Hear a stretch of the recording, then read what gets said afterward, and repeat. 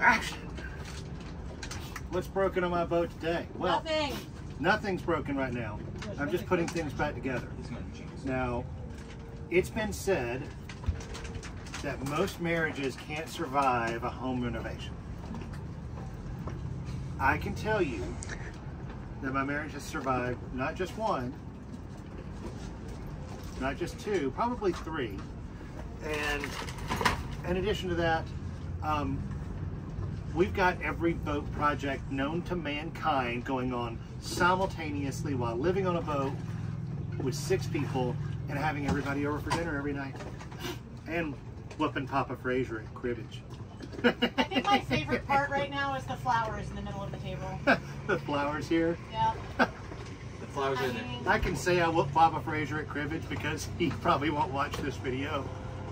Um, he watches everything. Anyway, so what we're doing is we've got the starboard engine in. We're going to sea trial it tomorrow, probably uh, in a limited basis. We're going to do a full sea trial after we get the second one in, and we'll put the photo tach on so we can really get the know the revs of the engines and know how they're doing. Uh, right now, they're starting right up, and What- it's what- looking good. I'm still sorting through old Yanmar 3 GM stuff. I'm putting up the headliner, and we've redone some things over in the, uh, the starboard master uh, berth, and we're going to do a little bit more lighting in there. And then we're prepping this other one, and my cameraman almost fell. We got a little bit of a wake there. Doesn't happen often on catamaran, guys, but uh, it happens. Uh, today we had one of our three into one uh, splitters for our solar, the MC4 connectors. Uh, it went bad. Uh, no physical sign of it on the outside, but electrically it stopped conducting, so we lost our panels and I realized that we were down on output, figured out which one was bad, and replaced it from my backstop.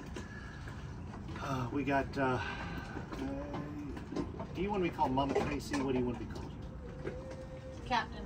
Masita. Uh, skipper, cap, cap, Captain uh, Seamstress back there, she's almost done with uh, getting the uh, stack pack lazy jack bag system uh, built.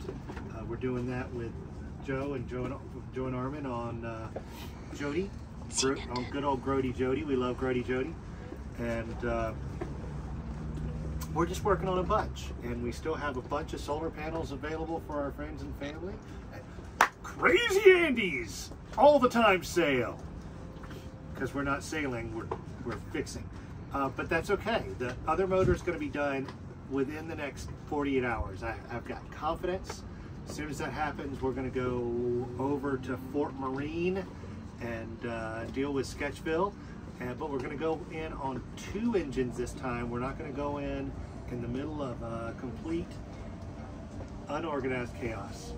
Uh, so what I'm doing now is I'm just picking out some uh, stainless steel screws. I got to get uh, six, eight of them to shoot my second piece of the headliner up, get that mounted, uh, pick up a little bit more around here so I can make a bigger mess before I put it all together, before I take it all apart, before I put it all together. So uh, until next time, uh, pick up after yourself, leave the world a cleaner place than you started. Tell your friends and family you love them. Really? You're going to tell people how to leave their world and your cockpit looks like that?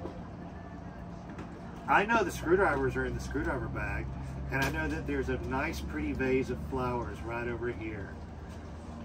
And, and whoa, whoa, I dug this out of the dumpster in California, and we use these all the time, right? It is technically your Whoa, whoa. boat, so it's kind of messy. You're I've like tilting off. double Wait, wait, wait. You, you, you gotta shine. Every time I clean it up, it's like it's just a landing strip for his crap. Anyway, love you guys. Bye.